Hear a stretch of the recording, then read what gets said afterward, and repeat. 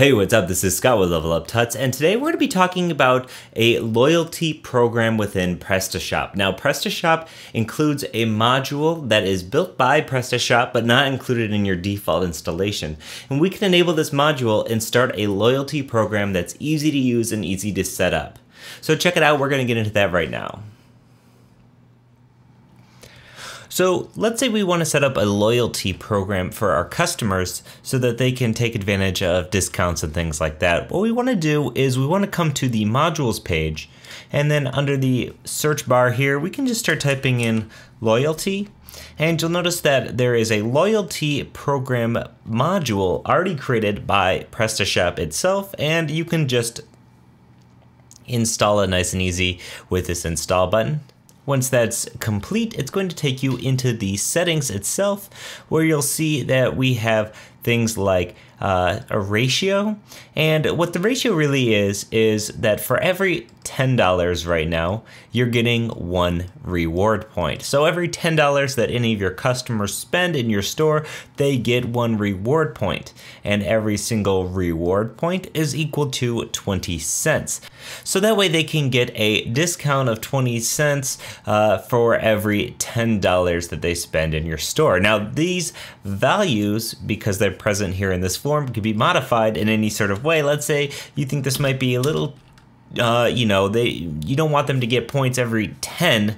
You want them to get points every $50 they spend, but you want points to be worth more. Let's say points are going to be worth uh, like $5 off. So every $50 they spend, they get $5 off.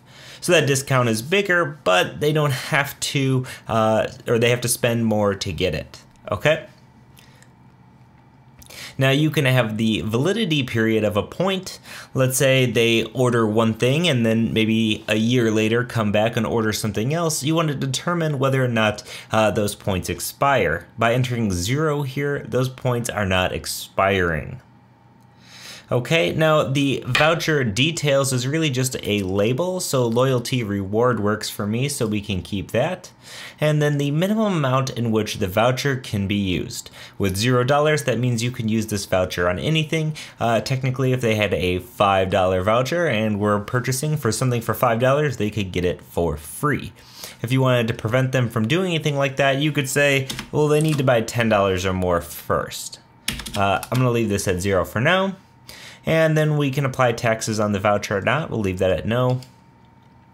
And points are awarded when the order is delivered, when the uh, and the points are canceled when the order is canceled. If you set this to delivered, that prevents uh, a customer from maybe ordering something and then canceling it and still getting those points. Now, you could also have it set to be shipped or pretty much any of these things for them to get those reward uh, loyalty points. Okay, now we can offer, uh, we can say, can they get discount points? Uh, we can say if they can get points on discounted products or not. We can say the points can be gathered in the following categories. And as you can see, we also have this loyalty points progression so that this is what your customers are going to see when they're checking on their loyalty points. Uh, if it's awaiting validation, unavailable on discounts, uh, available, canceled, all this good stuff. And so as you can see here, we have the potential to build a really nice loyalty and rewards program with very little configuration.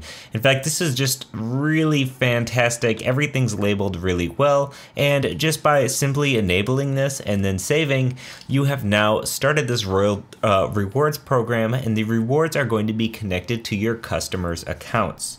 Now, as you can see here, I've loaded up my cart with this woman's blouse. It's uh, $25. We have six of them. So I'm going to click pay by check because I don't actually want to pay anything for this. And we're going to confirm my order. And after this, let's check out my account settings. Okay, so this is telling me all about the pay by check. Great. So let's come to my account now.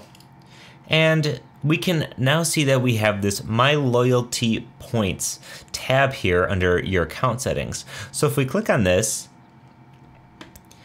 you can see that we have uh, this pending uh, loyalty points, right? So from my order that included this blouse, which was made just now, uh, it has three points pending and it's awaiting validation.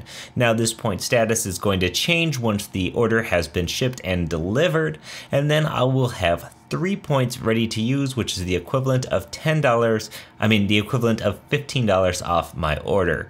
So you've now set up a loyalty rewards program, and it couldn't have been easier.